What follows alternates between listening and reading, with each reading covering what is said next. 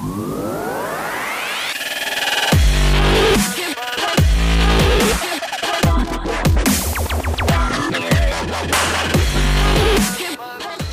everybody, this is Darius Bailey, uh, the local Realtor, United States Marine Corps veteran. Uh, I service primarily the Metro Atlanta area.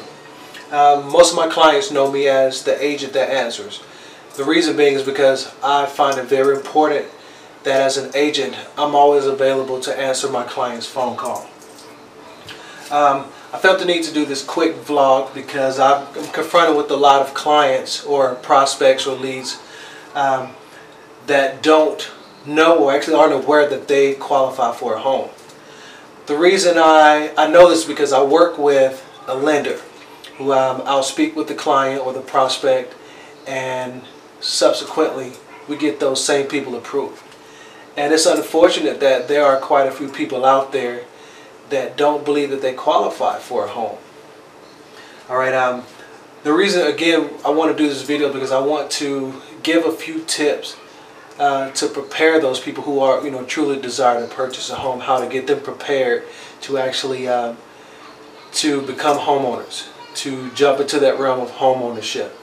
Um, on another vlog, I will go into why home homeownership is so important. But in this vlog, I want to, I'm going to assume that um, everyone finds a value in owning a home. I know that I do. Uh, tip number one, actually preparing yourself credit-wise to purchase a home is to know your credit score. Uh, there are quite a few um, apps out there, um, companies that allow you to monitor your credit score uh, for free without a credit card. And I actually do recommend subscribing to one of those services that offer the free credit monitoring service.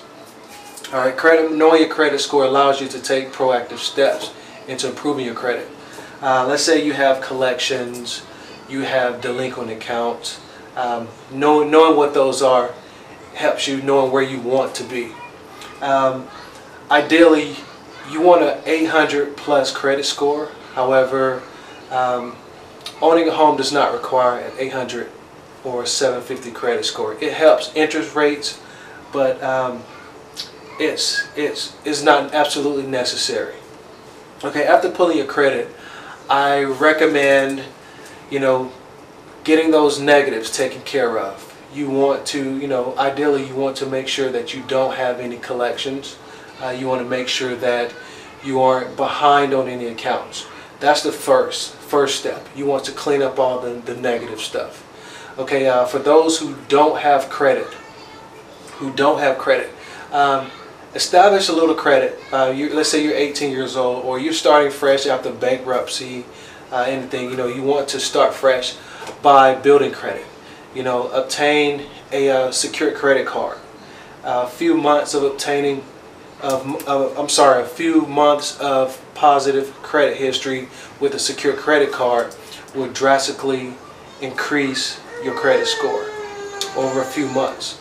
And when I say uh, maintaining that credit card, I mean spending, but making sure you either pay that credit card in full or not going above a 40, 40 to 45% ratio. For example, if you have a credit, if you have a credit card with a secure balance of 500, you never want to go above 200, um, 175 to 250 threshold. Okay, reason is because when creditors, when they look at your credit card, they want to see that you're not surviving off of that credit card, but yet you're you're maintaining a healthy credit um, credit profile as it relates to that credit card. So if you have a, again, if you have a credit card uh, with a 500 hypothetical credit score, you want to stay at about 250 and below. Okay, so about 40, 45 percent. Okay, getting a credit card.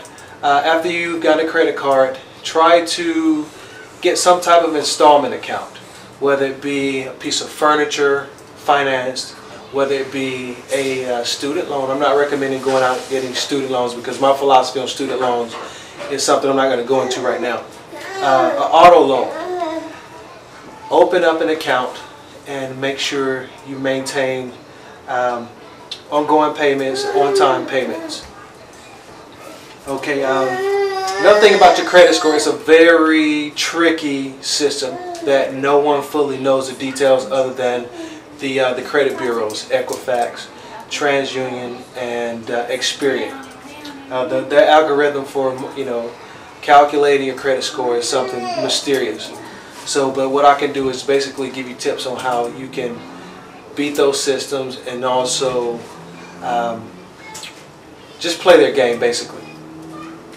Um, guys, uh, that's that's pretty much it. Maintaining a good credit profile. Um, you want to also credit inquiries. Credit inquiries stay on your credit report for about two years.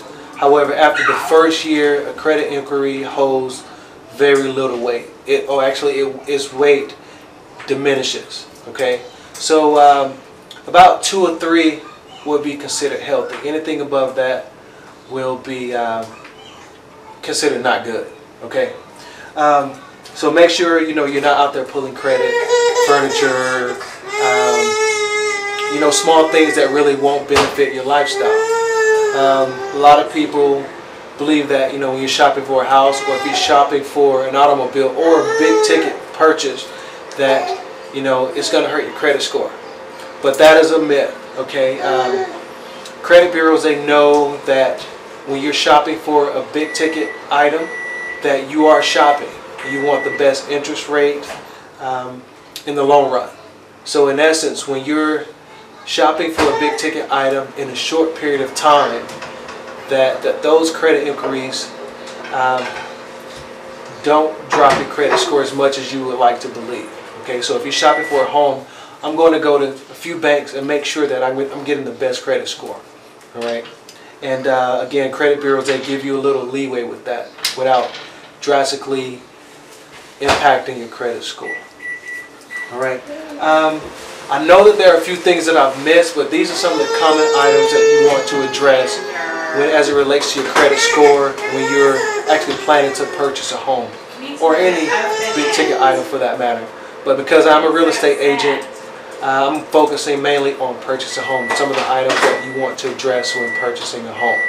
All right, um, and of course, outside of you know the whole credit building, you want to to save. Make sure you're saving uh, make that your primary goal is to make sure that you have cash saved up before you get in, jump into home ownership. All right, guys. Again, uh, these these are not all the items. Uh, these aren't all the things that you will need to do to make sure you maintain a healthy credit score in buying home. However, these are some of the more important items that you want to address when purchasing a home. And uh, a lot of people ask me also, what is a credit score? What does it take to buy a home? Um, it depends on the bank, but from my experience, you can purchase a home anywhere between 640 and 650. So if you have a 640 650, you may want to, you know, consider purchasing a home, purchasing a home, and um, not renting for the rest of your life. All right, there's so many advantages of actually owning a home that you may not be aware of. Okay, but just trust me as a professional that there are advantages. There are a lot. There are great advantage, advantages of owning a home. Okay, and I actively I I recommend that you actively pursue home ownership. So again, guys, without taking up too much of your time, I thank you again for watching this vlog, and I ask that you subscribe. Okay, please subscribe for more great content.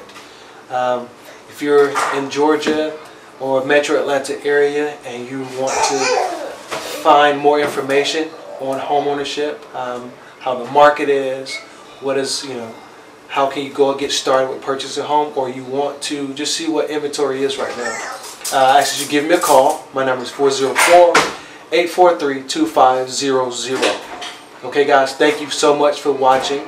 I'm Darius Bailey, the agent that answers. You guys have a great night.